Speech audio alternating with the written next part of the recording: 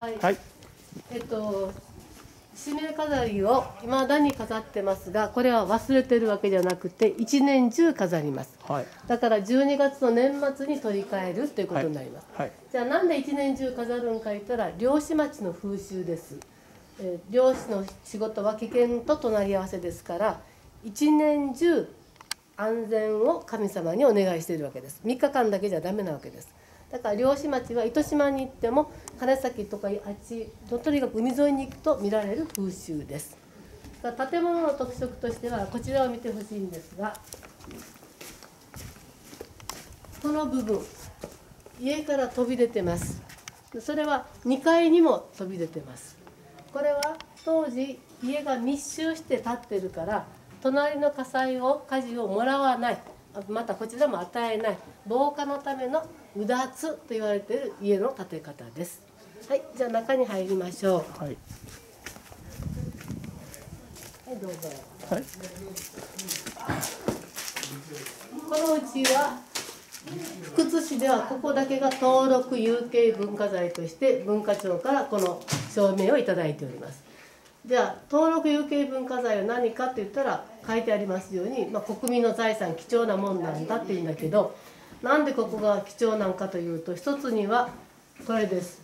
胸札、えーこれは？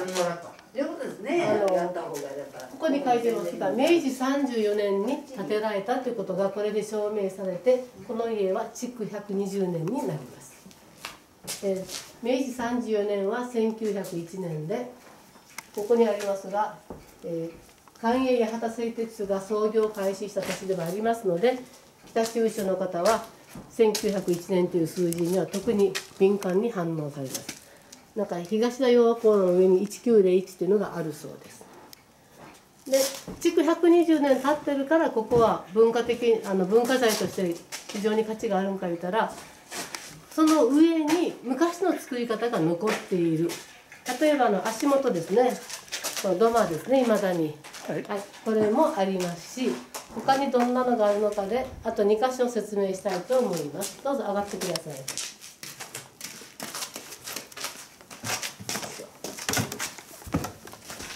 いしょ。こちらからこっち見てもらっていいですか？そこからどうぞ。えっ、と千代崎は向こうが海です。で海からの風が欲しいところですがここのところで風が入りません。大丈夫です。風欲しい時にはこれをこんな風にすればこれが外れます、なんで止まったのかというとこの部分ですね、はい。この部分がちょうどここにあるここに入り込んで固定することができます。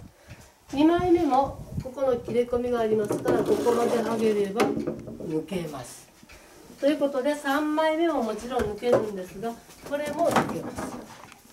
ということでここは全開になります。格子戸というのは外せるようになっています。実はこちら。こちらもこのガラス戸は後の方のリフォームですが明治に立った時にはこの格子戸とこの板戸です。これですね。これになります。でこの格子戸も外すことができます。留めがこれです。わかりますか？ここ。あこれを跳ね上げればこれが抜けるわけです。止める時は落としとけば止まるわけです。でこうやってどけたら2枚目もここまで開けたら抜けるし3枚目も抜けるし6枚全部抜けて最後に残るのはこの柱ですがこの柱の留めはこれ1本です。見えますでしょうか？ここ。この棒が1本入ってます。これこの棒1本です。これです。これ。これ。だからこの棒をですね抜いたらこれが内側にあ。あってここも全開になります、えー明治の頃ですが釘は鉄の釘は錆びてダメになりますので使わないでこういうのをしてる使ってやっているということです。それが未だに分かるということですね、はい、えー現在このように津屋崎の陶芸同好会の方が展示をなさってますがこの建物は市の所有で皆さんライブをなさったり展示をなさったり広く使われているところです。でこちら見てください。この欄間なんですがこの欄間を作った方はお名前が分かってます理由はここに署名があるからですでちょっと読みにくいと思いますが書き起こしたのがこれで博多東中立町近藤牛太郎と書いてあります。でこの中立町っていうのは恵比寿流れの中に山笠の場合各流れに旧町名が載ってますよね。恵比寿流れの中にあって今でいう呉服町の蓮池とか言ったかなとかいうところだったそうです。あの辺に職人さん街があったと思いますでもちろん彼は120年前ですからお亡くなりになってるわけですが署名と欄間は残ってるわけです。はい。では最後にこちらどうぞ。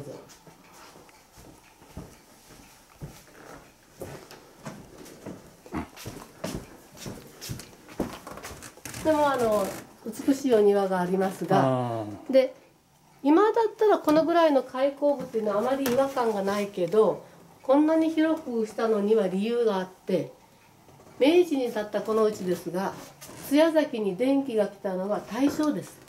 で暗いから明かり取りがいるわけですね。ということでこんなに広く開口部を作ってでその120年前に作ったこれがいまだにそうスイスイ動くーこれもあの驚かれるところですがやっぱり使ってる材がとても丈夫な頑丈なものを使ってますからこういうのが歪んでないんですよね。あだから明かり取りのためにこれを使ってますがあのついでお庭もめでる。非常にあのあそこにあるのは移動です。ーあーややはい館のついた井戸ですね。井戸ですね。はい。で館そのものはやはりあの雨漏りがするようになったりして変えるんで吹き替えするんですが、下の部分はもうその通り昔のまんまのやつです。ほであの昔のガラスですからこれ見ていただいたら分かるかと思いますが表面がちょっとうね波打ってる。ちょっとうねうねっとこれはまっすぐでしょ。割れたんじゃないかな。でこう空気穴があったりして。うああそうですね。はい。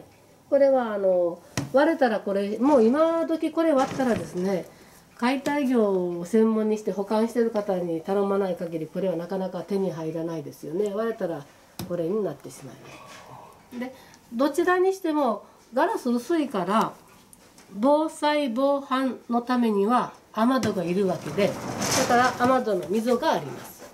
あ雨戸は使うわけです実際に。でここのとこのこれは壊れてるかと思いでしょうが実は水切りです。打ち込んできた水を早く切るためにこれとかあっち側に、切り込みが入ってはい、切り込み入ってる。へえ、はい、でじゃあ雨戸はどこに閉まってるんだろうかと、お。はいもう少ろうなはい、で普通こちらで普通作るでしょ？はい。はいそうですね。端っこ作ったらその分暗いじゃないですか。ここが真っ暗になるでしょ？戸袋が来たら。はいはい戸袋。だから明かり取りのためにこれだけ開けとってそれじゃ困るということでおっしゃるように、えー雨戸はどこにあるのかというとこちらですこれへでえ雨戸を閉めましょうという話になるとどうするのかというとこれ重いんですよね木だから。はいはいはい。でも大丈夫です。戸袋が来てくれます。え？ーこうですね。そしたらあとは中に置いた雨戸をこうやってスライドさせればこれが閉まるわけですああすごい。アイデア 5, 部5枚本当は入ってますから5枚できれいに戸が閉まるんですね。あ。ところがあの昔はですねお手洗いっていうのはあのあそこなんですよね。はいはい。あの匂いとか不衛生なことを考えて母屋から外すんですよね。はいはいそしたらトイレ行く時にこの雨戸を全部どうするんかと言ったら面倒だけどそこは大丈夫とここから行きますよ。とくぐり戸がついてるすごい。すごいですね。アイデアはい、そういう明治期のですねにあの木造建築に長けた人たちの作品がこれででこれは何もあの津屋崎だけがしてたわけじゃなくて博多にもたくさんあったと聞いてます。でなんで博多になくなったんか言ったら一番大きい原因は福岡大空襲と。ああ大空襲ね。ああれで開けてること。それからまあ博多みたいなあの大きな町はもし残ってても建て替えが進むからですねお仕事上残りにくいかもしれませんが博多から来た、ね、高齢の女性があ博多にもあったよっておっしゃってました。だからあのここは博多との交易で栄えた町ですから博多の影響博多人形が津屋崎に博多祇園山笠がこっちの津屋崎山笠こういう建物の建て方も博多からの影響を受けていると思われます。ははい、はあの外国の方も特に喜ばれるところい。です。おお、珍しい。はい。雨戸はいろんな小屋の瀬なんかにも変わったのがあって、いろんなところでいろんな工夫がなされていると思います。はい、以上でした。あ、ありがとうございました。あ、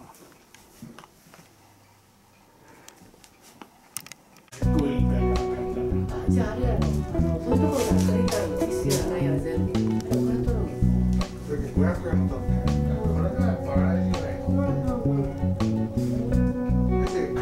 貝で